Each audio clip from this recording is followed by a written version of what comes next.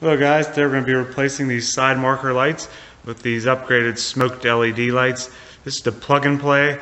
As you can see this uh, connector in the back, this plugs into your existing wiring and uh, you can insert this right in the slot here. So I like the smoked look. So I, I got these from ECStuning.com. Great company. Uh, a lot of good upgrades for this car. So we'll go ahead and get started here. Alright guys, to remove this light, I like to use a plastic pry tool like so. Get on the, the side here and slowly pull out like that. It's the uh, side opposite the metal clip. And bring it around here. Yeah, so let's put this back in here. Alright, I'll show you from this angle. Alright, so you take your plastic pry tool like that and it releases.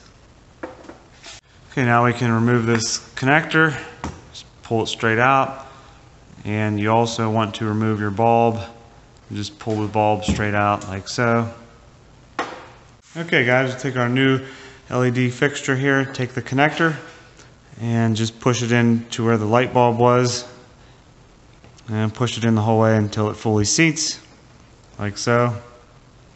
Then what you need to do is slowly push the wiring inside the uh, LED housing, this light housing, so you can get the grommet over top of the uh, housing here so we don't get any debris or water getting inside.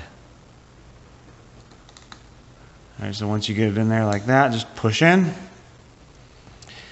And then go ahead and insert the right side and push it in like so.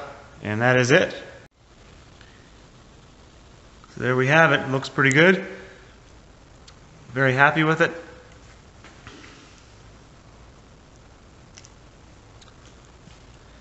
So now we can go ahead and turn the key on and uh, just try the signal out and see how it works. All right, there we go.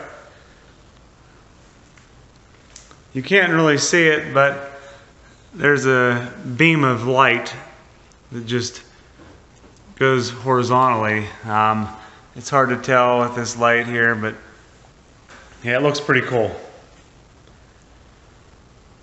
So overall, I'm happy with it. And it's a fairly easy thing to do. So thanks for watching, guys. Take care. Please subscribe. See you in the next one.